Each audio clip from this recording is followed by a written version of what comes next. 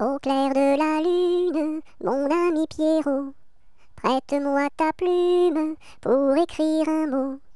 Ma chandelle est morte, je n'ai plus de feu. Ouvre-moi ta porte pour l'amour de Dieu.